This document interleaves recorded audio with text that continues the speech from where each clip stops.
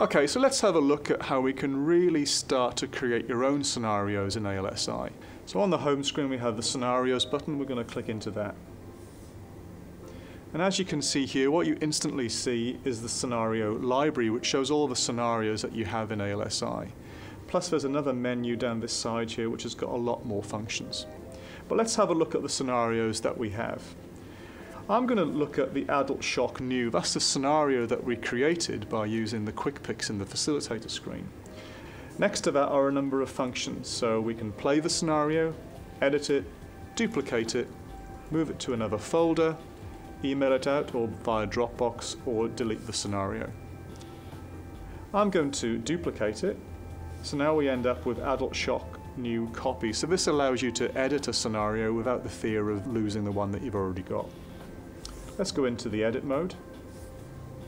And you can see it changes again, but what we still have is the quick picks down this side with the plus button and the reorder button. But we've also got scenario settings button, and here you can change the name of the scenario, and you can change the gender and add in some custom parameters as well. If you tap on initial screen setup, this is quite a powerful screen and quite useful. This will change what the student sees when they first look at the screen. So you can choose to hide a number of the parameters, if not all of them, or show only some specific ones. You can also change the, the screen that they see. So it may be monitor mode, or you might want to put it into defibrillator mode.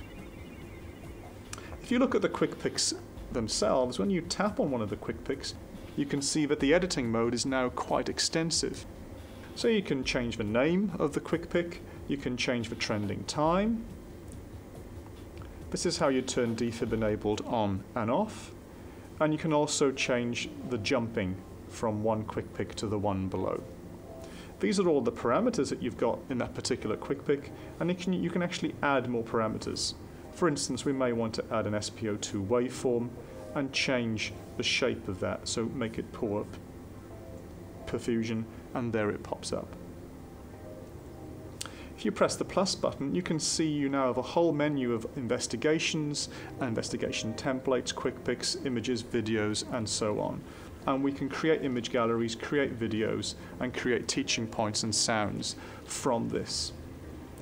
You can use the arrows to uh, reorder the quick picks, so it allows you a real extensive, detailed editing to take existing scenarios and create them into things that you want.